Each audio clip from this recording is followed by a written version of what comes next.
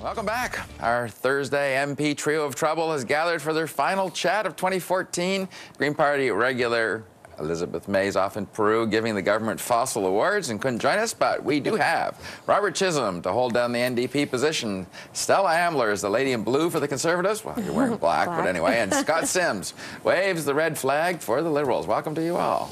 Don? Thank you. Um, I, I got to get your thoughts today when the security guards uh, came into the House of Commons. Uh, very poignant. Uh, you guys have probably never had someone parade in front of you that you may owe your lives to. What went through your mind, Stella?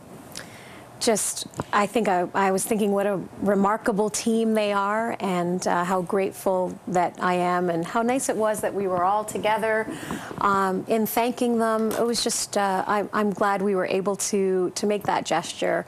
Um, nice change of pace from the normal yeah, it was really nice. And, um, and, and just to see that the uh, constable uh, who was there who had been injured is fine and, and he was smiling son, yeah. and happy. Yeah, it was just, it was a great moment. Robert? Well, I I was. Uh, I was really, you know, moved by the by the scent, by what you saw in their faces, the the pride on the one hand, but also the gratitude that, you know, that we would do this, that you know, that the the House of Commons and the people in it would would take the time to, you know, to pay tribute to them. I I, I really, I thought was, that was uh, that was pretty cool. Scott, last yeah. word to you on this one. I thought it was also amongst what they, said in addition to what they said. Uh, it was, a, it was a reflection of what our security forces, our people in uniform across this country.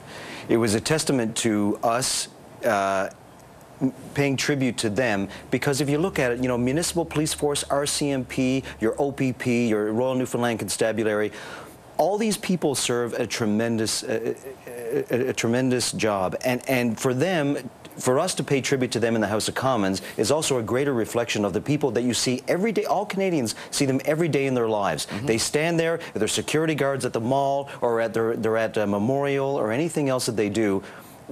They serve a function and they're there to protect us when needed similar to what uh, basically what happened with the House of Commons. Corporal Son getting extra treatment there was quite something because we tried to interview him a number of times. He just didn't want the hero treatment, and yeah. neither does Kevin Vickers. Yeah. He was quite happy yeah. to stay at the back. All right, the unity can end now. We can go back to regular political discussions. I find it interesting that Stephen Harper is still giving uh, Kathleen Wynne of Ontario the big uh, chill. Uh, yet uh, tomorrow, uh, Scott Simms, your um, your premier comes to town. He's only been premier for less than three months, and yet the prime minister's happy to sit down with him. Uh, Stella, help me through here. You're an Ontario conservative. Why won't your guy sit down with an Ontario premier who's asked repeatedly, and today sent letters from over a handful of cabinet ministers saying, please sit down with them and your own ministers. What's going on?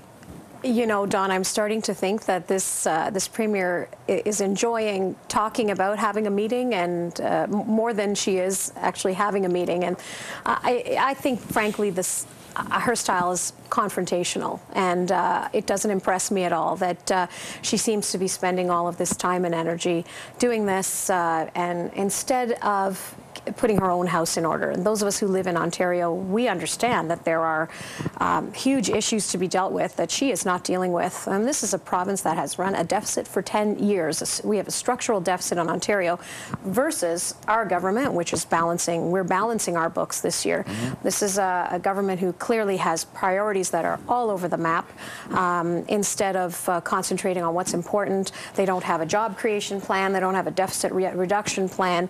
Uh, you know, uh, in, every instead province she's has that, don't they? There's a lot of pro problems in every well, province. I guess I'm wondering why the largest province in Canada doesn't rate a meeting after a year with the Prime Minister of Canada, yeah. even if she's poking them with sticks all the time. Well, I, I mean, I, I, I don't know. I know that uh, I, I don't I don't know that there's a reason per se. I, I, do know that when she does meet with him, she tends to go to the media right afterwards and, and squawk about some problem or other that the, the some, something she's terribly yeah something yeah. irrelevant and and petty that she's you know manages to complain. I mean, she's really she needs to get her own house in order. All right, Scott, um, you're you're from the Rock. You're from the Rock. Your guy gets the red carpet tomorrow. If you, if you think that Kathleen Wynne is squawking, I got two words for you: Danny Williams. Danny Williams was outright war. No, she's actually quite nice mm. compared to Danny Williams, but she met with him. Why? Maybe because he's a conservative, and of course, Mr. Harper is a conservative as well. I don't understand why you meet with uh, Couillard, You meet with other premiers.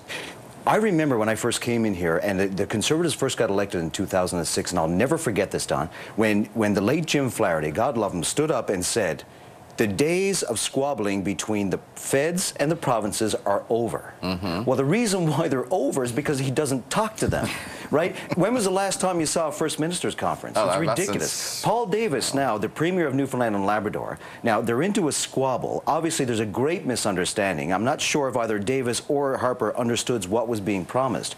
But all of a sudden, he's got this meeting to try to figure out. I think basically what's going to happen is he's going to come all the way to Ottawa from Newfoundland and Labrador and say, and Mr. Harper, the Prime Minister, is going to look at him and say, I'm sorry, can't help you. thanks for coming. It, yeah, thanks for coming. Appreciate it. Uh -huh. But, but that's about it. It's oh. unfortunate, but this Kathleen Wynne thing I find absolutely staggering. I, I, don't understand what, is it because she actively campaigns for the federal Liberals? Uh -huh. Will he not meet with NDP? Premiers because they actively campaign for the federal I don't NDP. know. Robert Chisholm, I need your thoughts on this one quickly, though. I find it extraordinary. I mean, it, it, it's so disrespectful to the voters of, of uh, Ontario, frankly. They decided. This is a federation. It has in the Constitution, we have in the Constitution two levels of government, right. the provincial and the national. And the people of Ontario decided who their government was going to be, and it's the Prime Minister's responsibility to deal, regardless of whether he likes her or likes what she does, he has a responsibility to meet with her. It's about a partnership, and yeah, the you know the prime minister, the national government, has to work with the provincial governments, regardless of their political stripe, in order to solve their problems. And and uh, I, you know I find it extraordinarily disrespectful when that doesn't happen. And then you have the likes of uh, of the premier of, of Newfoundland Labrador who has to threaten right. the prime minister in order to get a meeting. Well, uh, I, you know, I do. Well, regardless. I got to get. I want to get two minutes left. I got to move quickly. Species at risk. Uh, we had Megan Leslie on this week. She was talking about how that was one of the overlooked stories. But yeah. we, lo and behold, out comes a story today talking about that Canada has actually refused uh, to join treaties and and resolutions more than any other country on the planet oh, yeah. to protect yeah. species. I'll start with you then, Robert. I mean, what, what do you make of that? Why why are we sort of holding back on this? There, there's 76 species that they have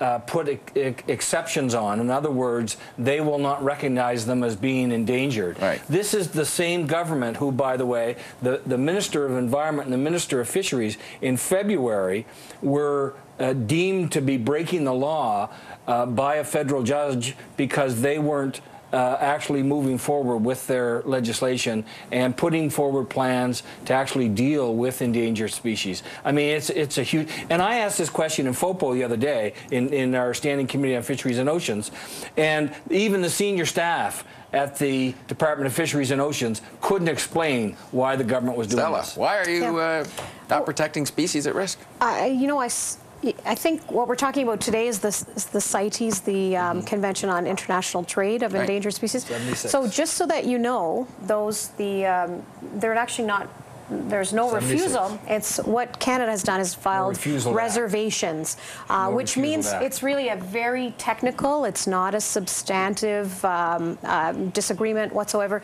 It's a very technical um, process that allows us to uh, have a, an extended time period to put those in place there, Every other country is doing absolutely contrary no, no, no. to every other country. Yeah. We have absolutely every. They have said we're not going to act this. on this. we have absolutely every intention of in of listing those as soon as um, as soon we just Scott. we ask for extra every time. Other, very technical. Every other Japan has filed 19. United Kingdom has filed only seven. United States of America filed absolutely none. It doesn't seem to be a technical thing for them. Why is it for us? This is one of the yeah biggest just, mysteries just I've ever seen. A little more time. Uh, well, that's all. Really? Yeah, I mean, that's you, all it is. You, you, have you've hired so many people no, no, within the department to deal with this. Two, two of them are the polar bear and the porbeagle shark that are both on the endangered and list. Every intention and, of making and, sure and that they're not this government is not because they are endangered species. Shame. Thank you all for disagreeing so vehemently. It restores my faith in and political Merry Christmas. Merry, Merry Christmas. La, la, la, la. Thank you all.